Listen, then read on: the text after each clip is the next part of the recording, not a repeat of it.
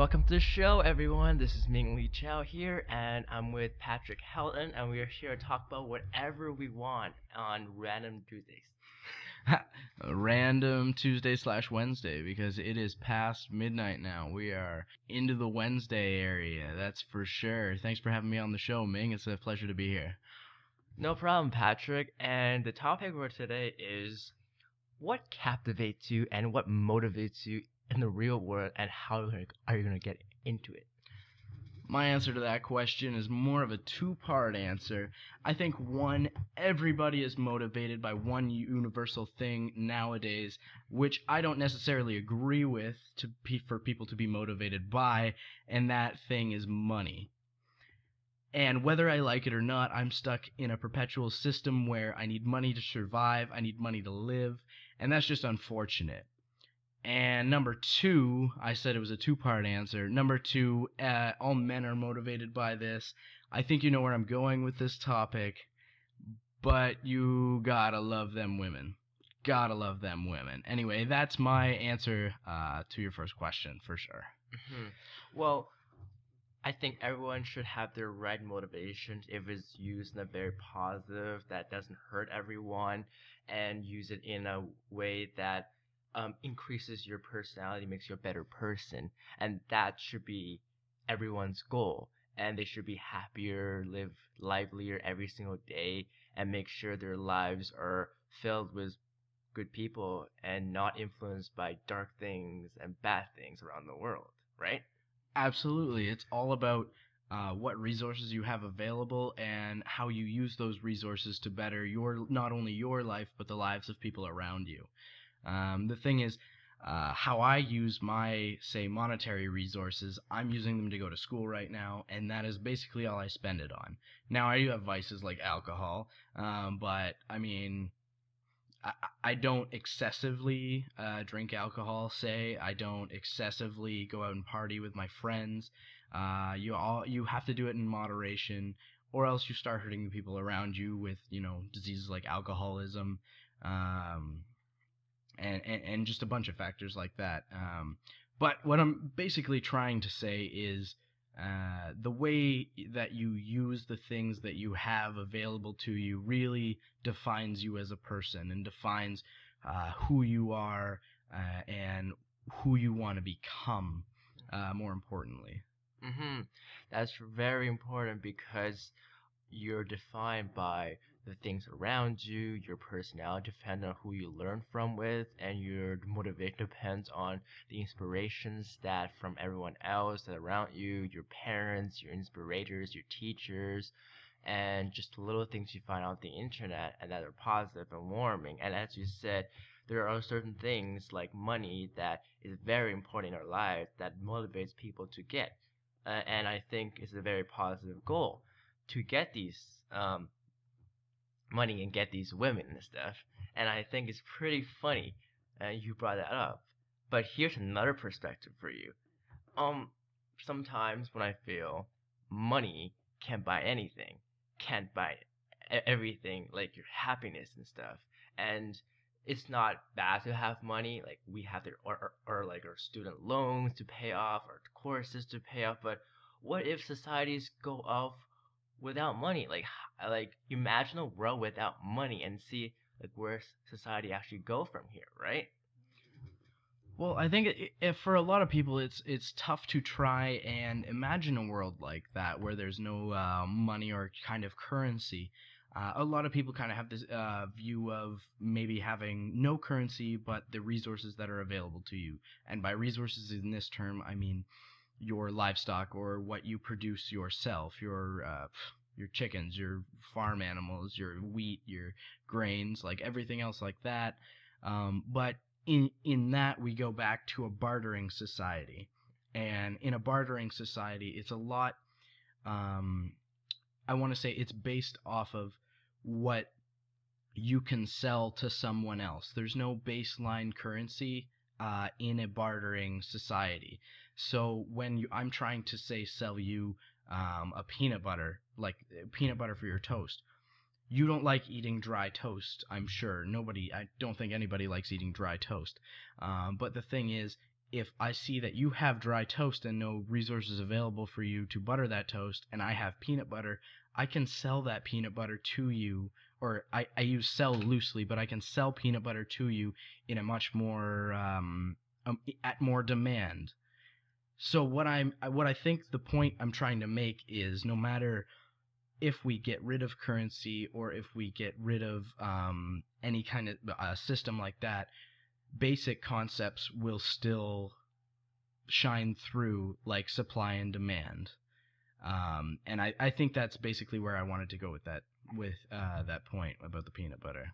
Mm, yes, very important. Um, I would like to say that yes, supply demand is important because people want food to survive, and and we want a variety of food, right? There's different like styles of like different species of apples. Like we, want, we're so picky. Like we want this apple, and it's all driven by market demand. If you think about it. So as a result, we're our society have to grow so many variety of food, and sometimes you gotta grow them in a very huge fashion, and then and, and then sometimes it could be unsustainable, could be sustainable depending on how you grow the food. So as a result, there's a constant need for supply and demand when we are all humans and we need to in, uh, like uh, eat food to live.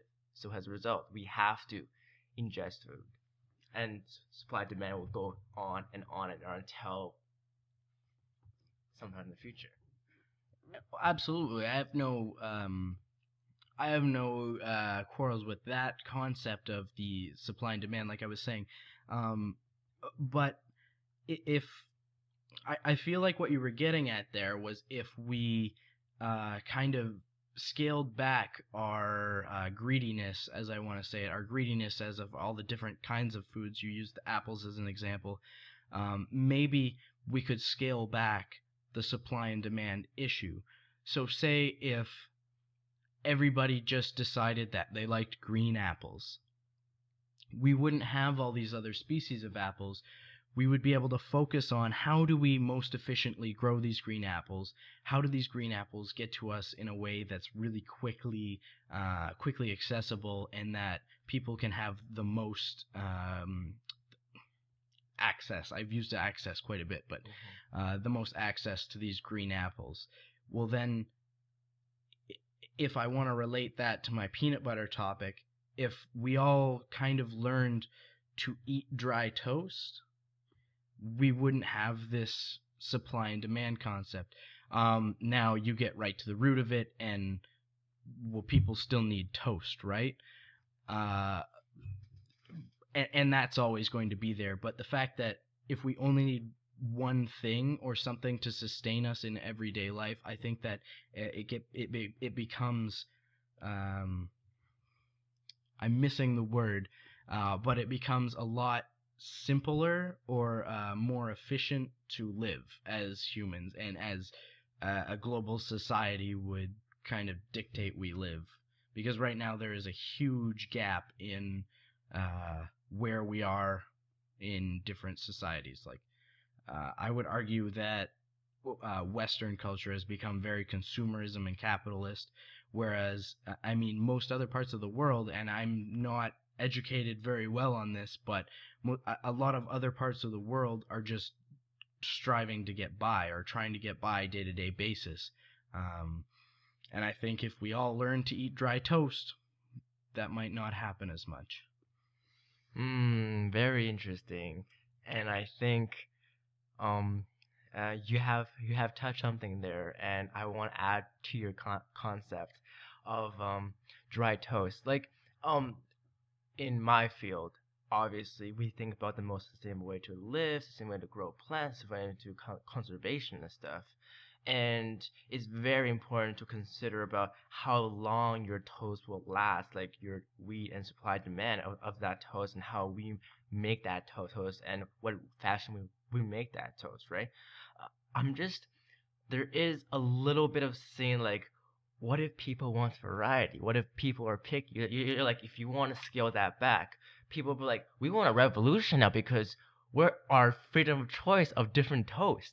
And if you think about that, you'd be like, whoa, whoa, whoa, whoa, whoa. We're we're trying to make it easier for you, then you're trying to make it harder for us. So it's like I think that there have to be a balance to be achieved between the consumers and the the the, the demand people. So as a result, we we need to as well as scale back, but have a compromising way so that everyone can reach their goal in a and also like yes, people are too much on, on on consumerism and we have to scale back, right? But why don't we just stop fighting people, other people for other resources when we can trade safely with other people and make sure that resources can be actually traded um, so that um, everyone can have the food that they want and stuff, right? Mm-hmm. I absolutely agree. And there are resources around the world that I think uh, b- people in more powerful situations have kind of been strong arming, and that's and that's almost going back to uh, what I said about the supply and demand. The original thing about the mm-hmm. dry toast and peanut butter is people with a lot of peanut butter see people with dry toast around the world, and they they go, well, I have all the leverage right now. I can sell this peanut butter to these people at a at, at a at a small cost to myself and get so much in return and that itself just unbalances the system and we really we do need to, we need to make a change on that. That's just imperative that we find a way for people to get peanut butter in their lives so they can butter their toast. Yes. Very interesting. Because you touch upon the greed thing because that is like the most deadliest thing in our society. Like, yes, money is, but greed is what we drive us to make more money, screw people over on the next country over, and you know, it's just very, very hard. But sometimes greed is important. It's a male motivator for a better life. I, I, I, I want to earn myself that car, but I'm, I'm gonna get it through my own means, right? But sometimes if you do it wrong and do it like not moderately, but like exponentially greed over like resources and over, I think personally think that human motion or that aspect of hu- human aspect should be changed.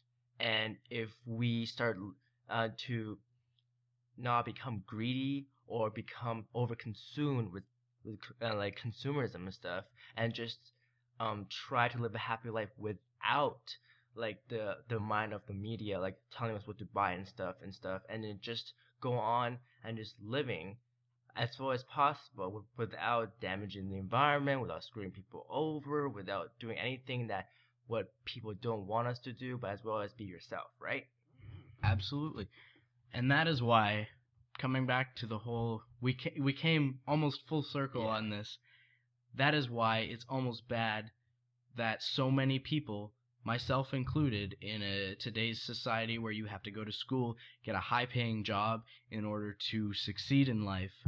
That's why that's almost almost not a good thing. It's great to get an education, don't get me wrong. Everybody should be educated and learn as much as they can. Um, but the fact that people are using this knowledge uh, to their advantage are, is just, it's not necessarily a good thing for the world as a whole. Um, all these motivating factors, like what I touched on at the start. I will cite myself at the start of this interview. Um, I said I believe I said money and women were the the things that motivated me, and uh, honestly, I can use all the resources I have to get just money and women, but if you only do that then that that essentially makes you a bad person. And I, I I would not personally use all the resources I have just to get money and women because one can lead to the other and we all know how money can lead to women and that is just not something um, that really should be and and that's a that's a topic for a different discussion whether prostitution should be legal or illegal um, because yeah, feminism. I think a woman should do, a woman should do what she wants with her body, and if that woman decides that prostitution is the thing that she wants to do, then whatever.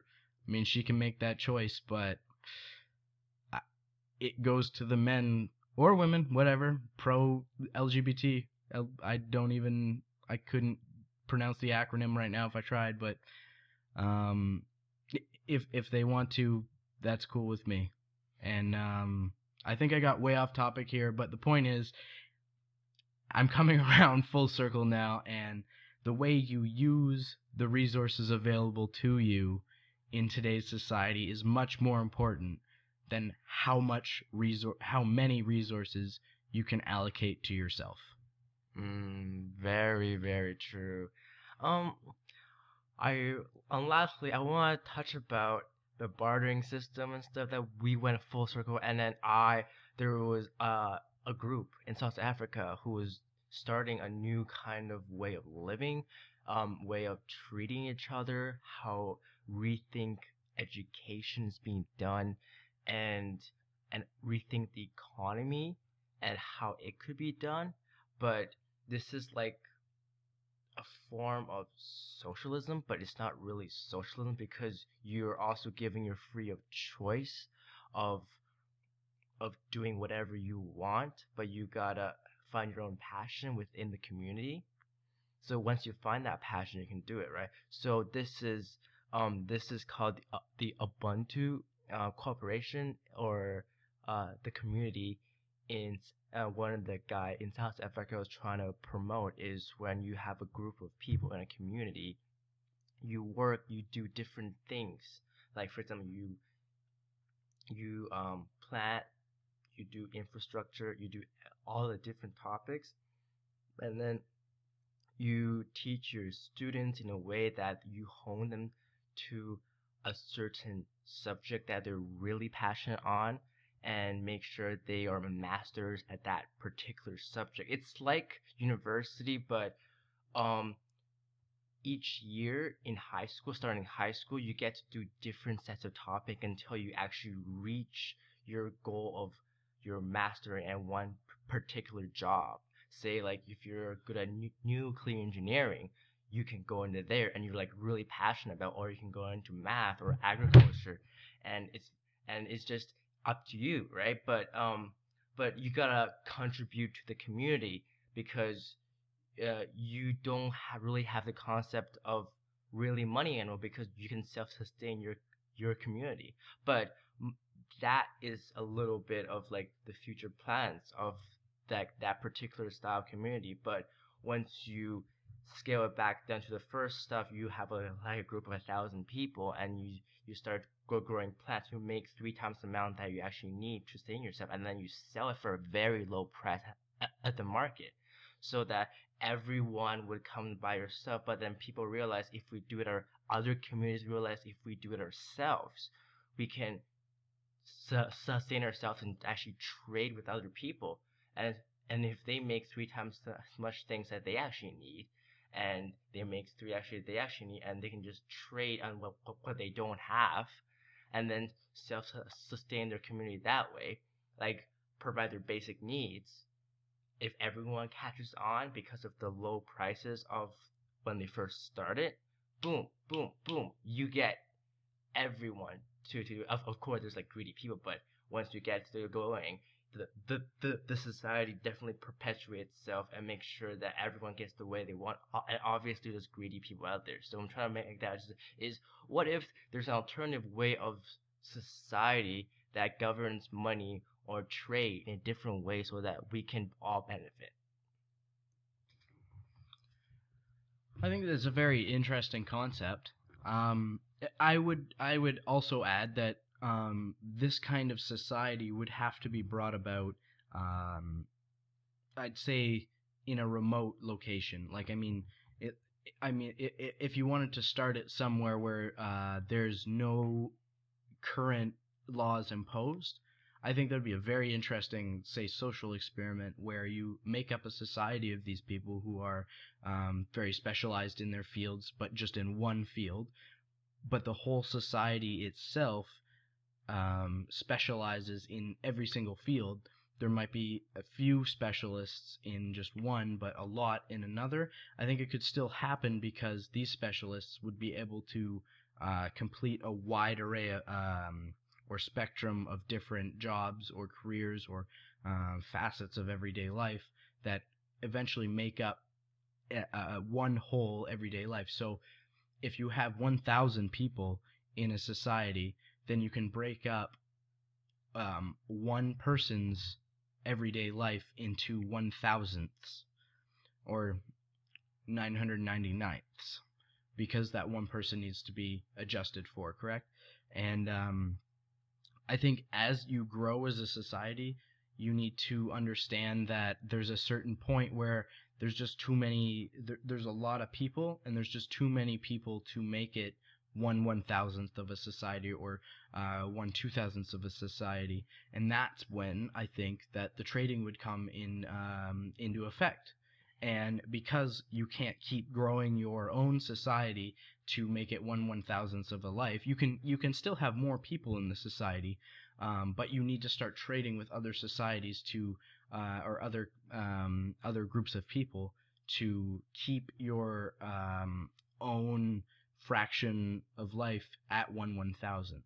So if you trade one one thousandth with another civilization with one one thousandth, maybe they value some things higher than other things. Then uh, if you want more than one one thousandth of a society, you can get it from this other society and I'm trying to uh, avoid capitalist tendencies, obviously, um, because they seem to not be working in a global uh, economy, and and there's a balance to be had with not wanting to, you know, get too far into the socialist um, aspect of things. But when you start trading fairly and evenly between things that you have more of and things that you don't have more of, or that you have less of, ooh, don't have more of, um, that you have less of, then you start to equalize societies in ways that uh, I just think that modern civilization you just can't do it. You just it's it's impossible with the you know trade regulations and everything that's um, imposed on us in today's society. Mm, you're absolutely right. Um, as I said, I think this will be a good um, social experiment for like a small group of people, and I think the organization or the group is on its working stages to to do that, and I think that um, I hope the best, but I I have my doubts of that particular side because um you're assuming that everyone's rational and happy within that society, and I think it will be a good society, but this will have to depend on the timing and how we view it and how the media view it. And yeah, so um yeah, and and that's where a governing body comes in. You can have a society um, without a governing body in theory, but there always has to be something to regulate it.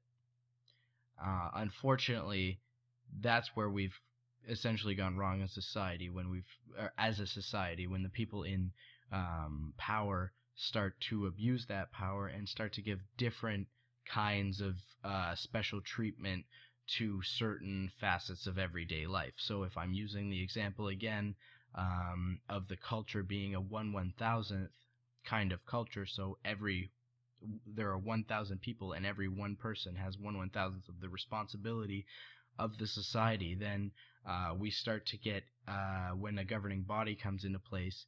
That's where we start to get where the one of the people um, starts to get more um, responsibility associated with their job. So.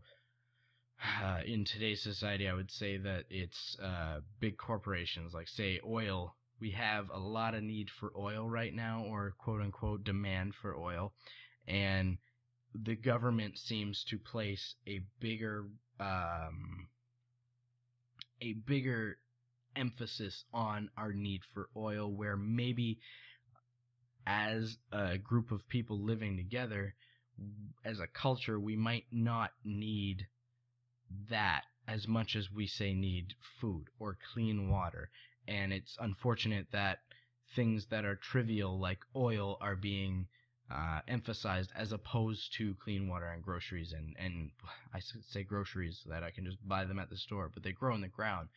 Farmers are uh, busting their ass and getting just just barely getting by while people in like high living are they just made their nut off oil they just happen to get lucky or whatever i don't i don't necessarily know but i think it's unfortunate that people aren't being treated evenly in society not saying that everybody should be treated evenly but i think everybody who works hard should essentially get enough money for their their hardships Mm. and be able to understand that or and and people should be able to understand where it's coming from. And not like you're just doing a menial task in today's hmm, rat race or whatever you want to call it. And, and i mean like you, you shouldn't just get paid for doing nothing is what i'm trying to say kim kardashian whatever. Yeah, you're absolutely right. Like this is our society now, and there's big problems, uh, and it's very hard to fix those things when the higher ups makes the policies and the laws, and like the when they get the final say, right? You can make as much as law as you want, but who gets the final say, and who's controlling that final say, and who's um like regulating that final say. So it's very important to think about policies and laws when you think about how to change, really change how the way people think, really change how people react to different things, and really change how we think about our food, our sustainability on this earth, and um, our and our survival as a human species.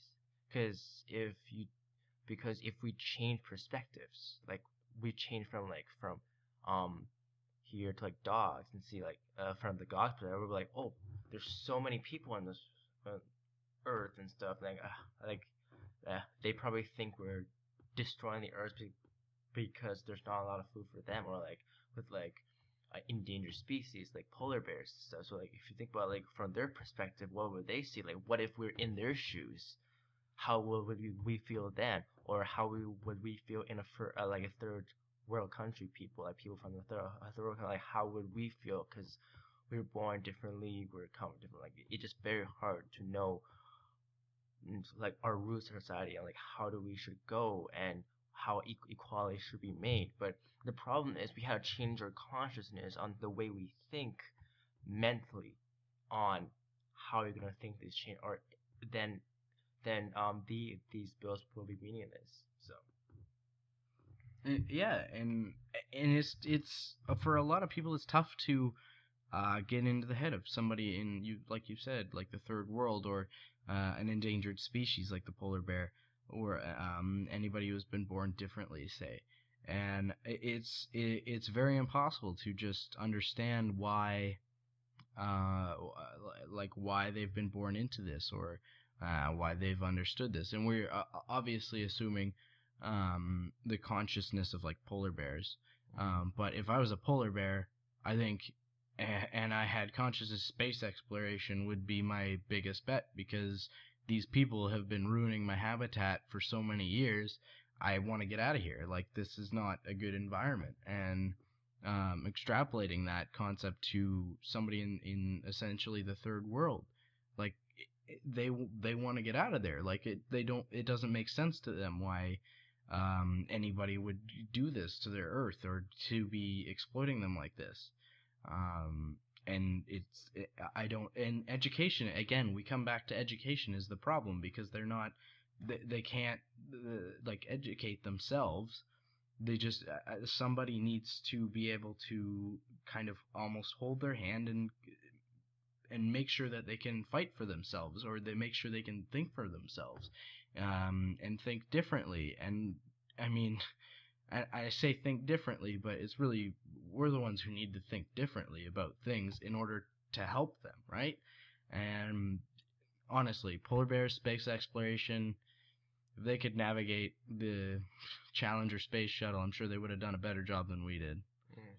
Because we don't know a lot of different things, and what if there's uh, if we step in someone's shoes who might think differently from that particular angle than our angle, and there's because there's so so many different perspectives out there. It's just it's interesting for us to see how um, one thing could be another, and another thing could be another, and you might view as one thing as bad, and the and the other person might think, oh, this is great, right? So you gotta think about different perspectives on how it affects us completely, and it and I think we're out of time here, but I uh, you got any final words to say? Uh, Basically, um, we we as a society have to think about uh, different things, uh, ways essentially to do things differently, and especially when it comes to right down to it, the fact that we all want to be rich, we all want to be liked, um, but in order to do that, you need to use your resources wisely, and um, not hoard all the peanut butter. All right. Mm, you're absolutely right. And I think that there has to be a a change in our perception of things and get up this current paradigm and just go to another newer paradigm so that everyone would be uh, treated more equally than they're treated now and have a positive impact on this world. Well, um, that's it for our podcast. Um, thank you, uh, Patrick, for being here, and I had a wonderful talk. Thanks for having me on, Ming. It was a it was a pleasure. Mm, yes, and we'll see you next time.